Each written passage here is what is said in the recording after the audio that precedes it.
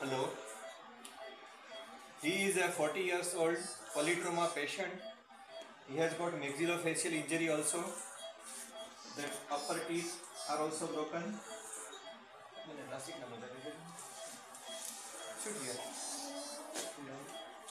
Upper teeth are also broken. And uh, potential difficult intubation. We are using our own design video laryngoscope for that. Patient is conventionally induced with propofol and sulfol. Uh, etomidate and scopolamine, sorry.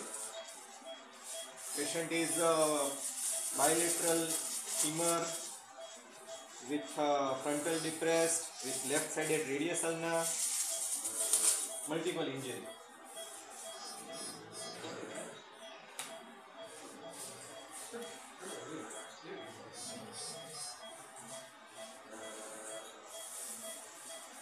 Own design uh, video laryngoscope we are using and uh, it has got a channel for bougie also. I'll show you insert here.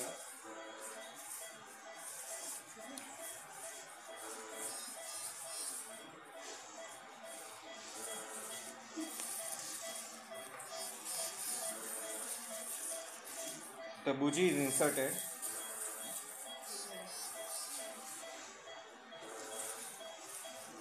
and uh, I am using this device to keep the mouth open. Look at the mouth opening here.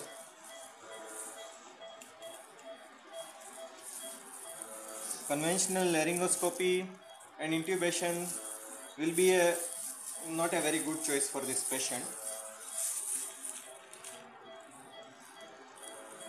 Now I am inserting our video laryngoscope here we you can see this is the epiglottis which is seen. And uh, lifting the epiglottis we are able to see these vocal cords. Visible? I'm doing and uh, now I am pushing the uh, this thing uh, bougie inside. The bougie is gone. Entered the trachea. Yes. And now we are railroading the tube over the bougie. Yeah.